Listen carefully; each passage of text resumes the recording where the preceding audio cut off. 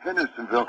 So Jerry Jarrett has seen it, and and he says, uh, "Handsome man, you got to have this," you know, because I was real hot there in, in Memphis in 1980, and uh, so uh, they brought that thing down to me, and I bought it, you know, from uh, from them, and I drove it for for years, you know, and uh, I have it here in my museum now, Huh. you know, and uh, uh, it- it's a funny story, but Yeah. uh, that, that's how that's how that. That is very- that is very I talk about that in the book too. Okay, okay. Uh, that is that is very unique. How uh, how ironic for me to Ask, want to. ask Ned about that scene. I, about I think the- I will. I think I'll, I'll write that down. Yeah, yeah. in in the movie Nashville, where the hippie was driving this uh, this uh, real long front end uh, uh, uh, forked uh, uh, with the big slicks on it. It was a um, uh, a three uh, a three wheeler, you know. Okay. Uh, yeah, Wow. motorcycle. That's wow, that's pretty impressive, I tell you, man. Mhm. Uh, okay, now back to your interview. Back to talking about you uh, and, and your wrestling career. Uh, I talked, you know, when I asked Greg Valentine, I asked him, you know, uh, uh, any favorite matches, you know, that he had, and now I'm going to ask you the same thing. What are your, some of your favorite moments or matches in your legendary career?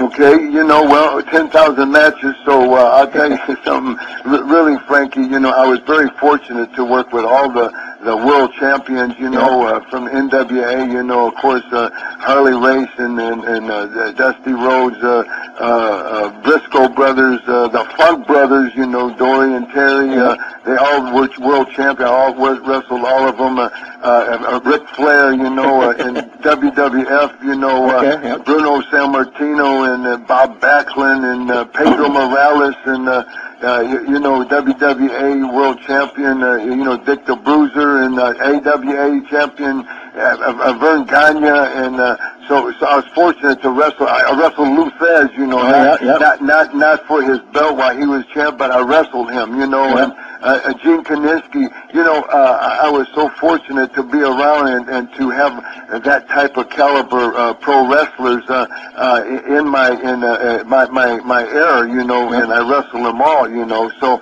uh, really, uh, man, uh, every match, every match, you know, uh, uh, every night, you know, we'd wrestle seven ti- seven uh, days a week in the '80s uh, for Crockett's. Well, we, I would wrestle, actually wrestle nine times a week.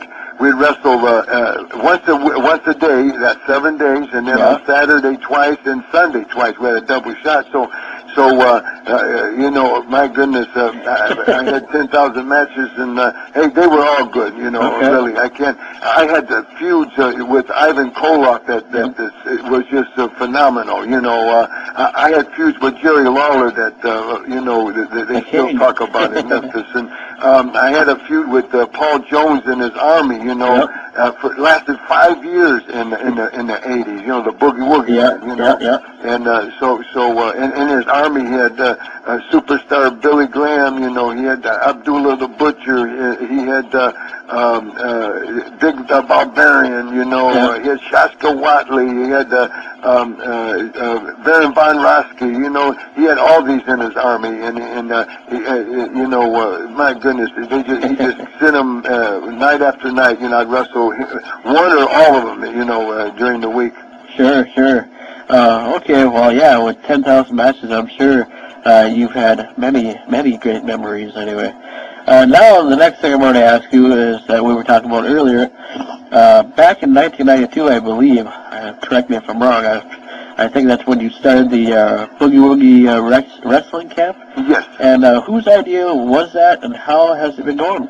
It's been going great, and uh, uh, actually, um, it was myself and my wife, uh, Angel's uh, idea. Uh, I I always had that back in my mind, uh, Frankie, because everybody uh, asked, you know, how do you get in this uh, professional wrestling? Yeah. How do you do this? How do you do that?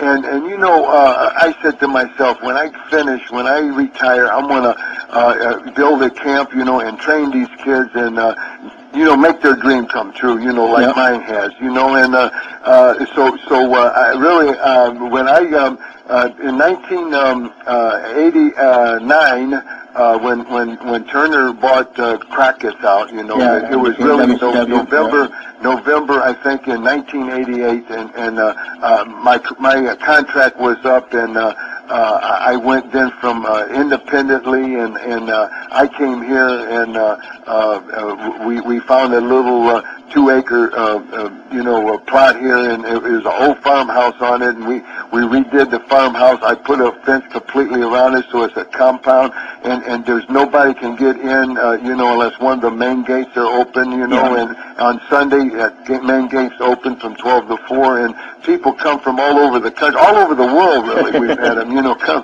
and um, they know, and it's just jamming here. Man, you know, it's so quiet because we're out in the country, we're out in the valley, you know, mountains all around us. There's farms, there's a dairy farm a half a mile down, and it's just beautiful. It's, it's, it's, it's uh, right across is the Roanoke River. It's the most beautiful place you ever seen, and and uh, it's so quiet here, you know, uh, all week and uh, Sunday, man, is jamming from 12 noon to 4 o'clock. There's cars parked everywhere, and uh, man, you know that ring is is being worked over, and uh, um, the people just come and enjoy.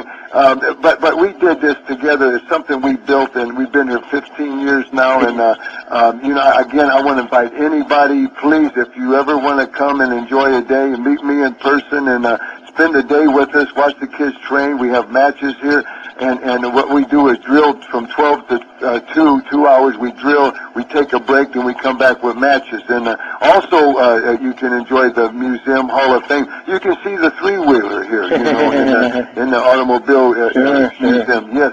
But uh, the good thing about this is there's no charge. That, that you you know you don't buy a ticket to come to tour Yep. to uh, uh, the museum or Hall of Fame or see the matches. Nothing. There's no charge. Come in, spend a day with us, and this is what I give back. Uh, something that I give back to the wrestling Well, fans. cool. That, that, that is great. Uh, Check it out, uh, uh, uh, Frankie. Uh, tell the people. Oh, yeah. JimmyValiant.com, please, and. Uh, Everything's there, you know. I mean, hey, you can pick up a book if you like, you know, Okay. and uh, that would help out, of course. And and uh, but uh, uh, anything else, man, is is all free. Oh, I tell you this, maybe after we get done with the interview, after I uh, get off the air, maybe we'll, uh, maybe you can uh, hold on for a second. I'll give you my address. You can send me some information about it or something like that. Sure. Be Okay. great. Be great. Okay. But until then, uh, now uh, talking about wrestlers and whatnot, and then even wrestlers of today, have there any- since you've been open for over 15 years, uh, or now 15 years, I should say. Right. Uh, are there have there any been any big name wrestlers that have came from the camp that might be on WWE programming? Yeah, well, yeah, what we do, uh, uh, all these kids uh, have had tryout. Not all these kids, but Yeah. I've had many kids, you know, uh, had tryouts with WWE, WWF, uh, uh, you Yeah. know, when they were. I take them down. In fact, uh, I just took three kids down uh, three weeks ago. We went into Memphis. They had a legend uh, uh, with Jerry Lawler and, and Okay. uh, the, yes, Bill Dundee and everything. We had a two-day legend thing. One was in Jackson, Tennessee, and the other thing was the next day was in Southaven, Mississippi, which which is just over the line.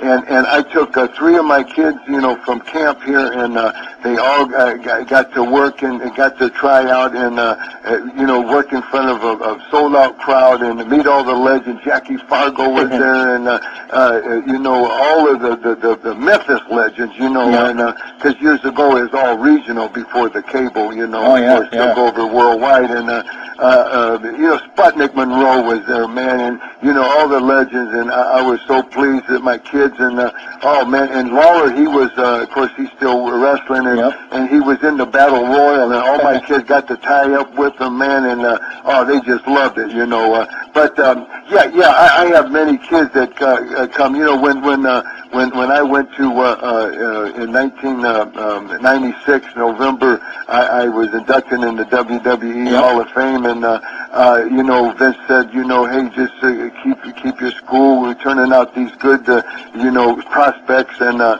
and uh, yeah, I send them up, and, and they do different stuff for them, and and um, what what they what the WWE have, they have their own, uh, uh, of course, uh, uh, schools Yeah, the you know, Ohio Valley Wrestling or whatever. I believe it. Exactly, exactly, yeah. hmm So, so, so, uh, uh, you know, but but everything here, I, there's two different companies that spun off of BWC uh, up here with me. You know, there's New Age Wrestling Okay. and uh, uh, Bruisers Wrestling Federation. So my kids, they work every week. You know, uh, uh, you know, uh, at their trade, and of course, uh, uh, it's just like anything else. You know, they got to have a a, a full time job. Uh, They come here train on Sunday, Yeah. and then of course Friday and Saturday they wrestle, and uh, they, they, they do that. They're doing uh, what just like WWE boys doing, you know, only on a smaller scale, Sure. but they are professional wrestlers. Okay. Well, that's cool. I mean, for 15 years, uh, being able to do that and whatnot, and and uh, that, that's that's uh, that's a heck of a lot of people, and I'm sure you've had hundreds upon thousands of people that you've had trained and whatnot, and and uh, more in the future, I suppose. You better believe it. Yes, sir, Frankie. Okay, and now that you know you were talking about your book, and now I'm finally going to ask you about your book. Uh, you wrote a book, and now how does it feel to now to have your entire life, or bits and pieces of it, or whatever you put out? I, I never got a chance to read it yet, but I'm sure it'll come our, my way here soon. Uh, having your entire life on paper for others to read and enjoy. What's It's great. It's great. You know, uh, it's 566 pages. Holy It's a moly. book, uh, hardback. You know, Okay, it weighs three pounds, man. You know, uh, you could work out with it. If you get two of them, you could do curls. You know, and uh, Sure. do some uh, yeah bench presses with them. Uh, uh, but uh, yeah, uh, it's called. Woo!